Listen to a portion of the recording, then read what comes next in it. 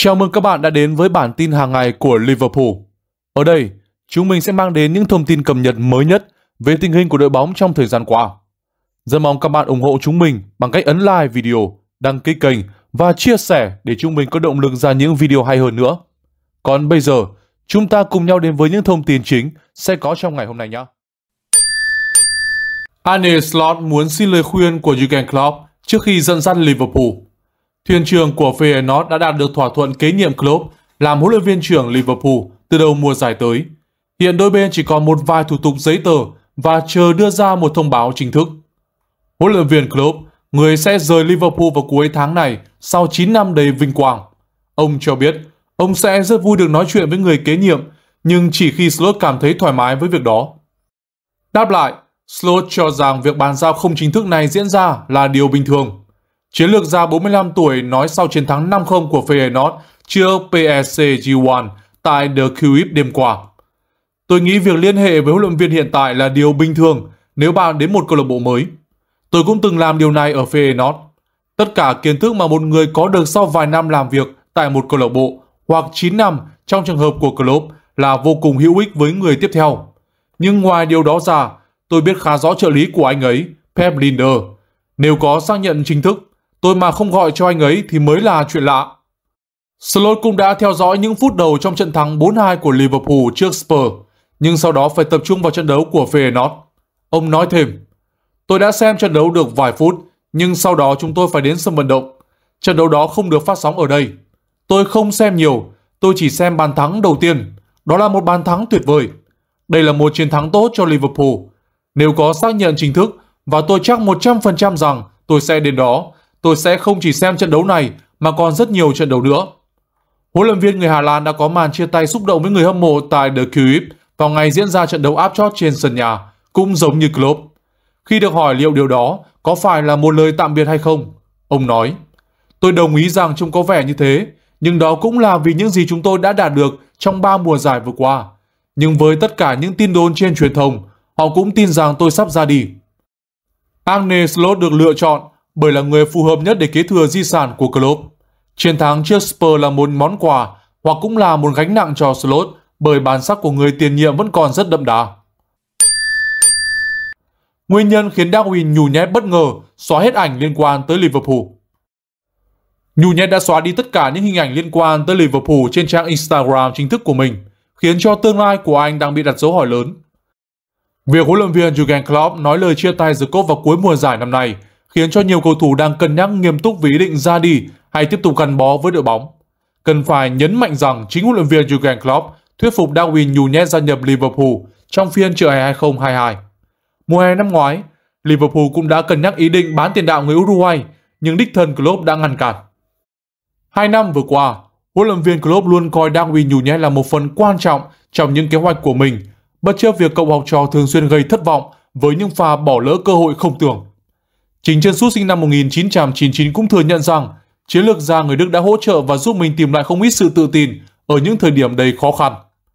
Việc Darwin nhét đã xóa tất cả các bài đăng liên quan đến Liverpool khỏi tài khoản Instagram của mình, có lẽ do những lời chỉ trích mà anh nhận được trên mạng xã hội vì những màn trình diễn gần đây của mình. Cầu thủ người Uruguay đã không đá chính vài trận gần đây và vào sân từ băng ghế dự bị trước Spurs. Nunez chơi không quá ấn tượng sau khi được vào sân, anh đã phung phí một vài cơ hội nguy hiểm nhưng một lần nữa, Nunez cho thấy mình tham gia rất nhiều vào lối chơi tấn công của Liverpool. Tuy nhiên, những màn trình diễn gần đây thường để lại cho người hâm mộ rất nhiều điều băn khoăn. Nunez hiện cũng không có bàn thắng nào kể từ chiến thắng 3-1 trước Sheffield United hồi đầu tháng 4. Kết quả là Nunez đã phải đối mặt với rất nhiều lời chỉ trích trực tuyến với phương tiện truyền thông xã hội thường là nơi sản sinh ra những tiêu cực nhắm trực tiếp vào cá nhân các cầu thủ. Những hành động như vậy là hoàn toàn không chính đáng Thật đáng buồn khi thấy một cầu thủ cảm thấy cần phải hành động như vậy. Không có cầu thủ nào đáng bị chỉ trích trên mạng xã hội từ những người hâm mộ của câu lạc bộ. Salah trở thành cầu thủ đầu tiên trong lịch sử Premier League đạt cột mốc đáng nhớ. Sau một vài tuần thảm họa, Liverpool cuối cùng đã tìm lại được phong độ ở trận đấu chủ nhật vừa qua. Để đảm bảo vị trí thứ ba của mình ở Premier League, Liverpool đã cải thiện rất tốt so với chính mình ở những trận đấu trước khi có đầy đủ sự tinh tế trong tấn công. Cùng với sự trở lại của Mohamed Salah khi anh là một trong số những cầu thủ chơi nổi bật nhất tại Anfield. Sau cuộc cãi vã với Klopp một tuần trước đó, thật tốt khi thấy lá bùa hộ mệnh của Liverpool trở lại theo đúng những gì chúng ta mong đợi từ anh ấy. Salah ghi bàn, cung cấp một đường kiến tạo và tạo ra sự ảnh hưởng lớn đến toàn đội. Bất chấp những lời chỉ trích gần đây về màn trình diễn của mình, khi nhiều người hâm mộ muốn thấy Salah rời câu lạc bộ vào mùa hè này, nhưng Salah vẫn luôn là mối đe dọa của các đối thủ và là đầu ra bàn thắng tốt nhất cho Liverpool. Điều đó càng được nhấn mạnh bởi một thống kê từ Michael Ray của Opta. Theo Ray, Salah hiện đứng thứ tư về số phút ít nhất cho mỗi bàn thắng hoặc kiến tạo trên mọi đấu trường, hơn bất kỳ cầu thủ nào của Liverpool.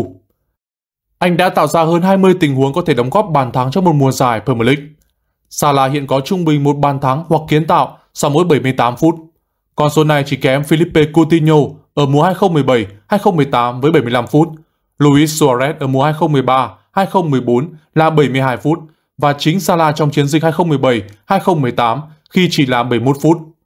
Không chỉ vậy, Salah đã trở thành cầu thủ đầu tiên trong lịch sử giải đấu ghi được hơn 10 bàn thắng và cung cấp 10 đường kiến tạo trở lên trong 3 mùa giải liên tiếp.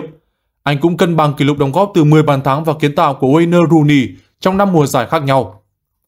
Cầu thủ số 11 đã có 39 bàn thắng và kiến tạo sau 42 lần ra sân mùa giải năm nay, một con số khá khó tin đối với một cầu thủ đã bị chỉ trích đáng kể vì màn trình diễn của mình.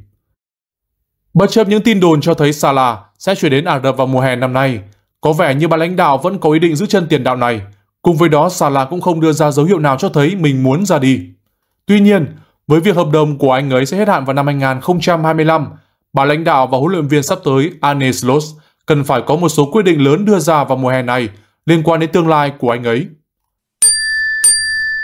Virgil van Dijk đưa ra phản ứng trước những tin đồn liên quan đến tương lai tại Liverpool.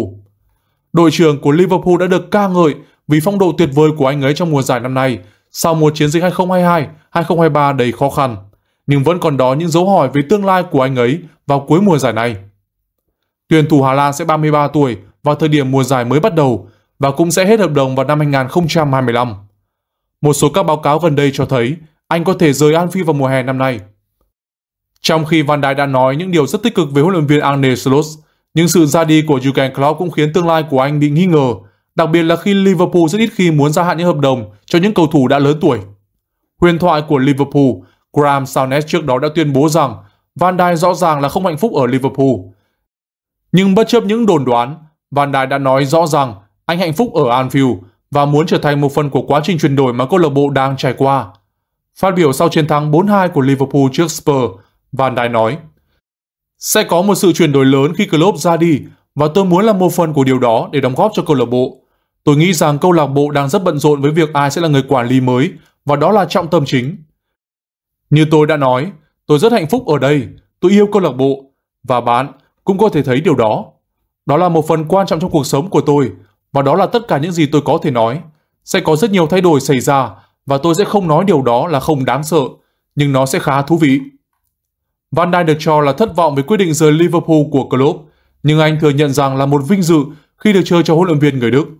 Van Dijk nói, Tôi thực sự tự hào vì tôi đã chơi cho ông ấy, chiến đấu cho những danh hiệu và tiến đến những thành công mà chúng tôi đã có trong những năm qua. Nó sẽ là rất cảm xúc vào ngày cuối cùng, nhưng đôi khi nó là một phần của cuộc sống. Nhiều điều đang xảy ra đằng sau hậu trường, nhưng chúng tôi vẫn tập trung vào các trận đấu và đó là nhiệm vụ của chúng tôi. Và chúng tôi muốn có 6 điểm ở hai trận đấu cuối cùng. Liverpool của chúng ta sẽ kết thúc mùa giải bằng các cuộc đụng độ với Aston Villa và Wolverhampton. Cùng với đó, tương lai của Van Dijk có thể sẽ được ban lãnh đạo quyết định trong những tháng tới. Trong những tháng tới. Mình xin cảm ơn anh em đã theo dõi video của mình.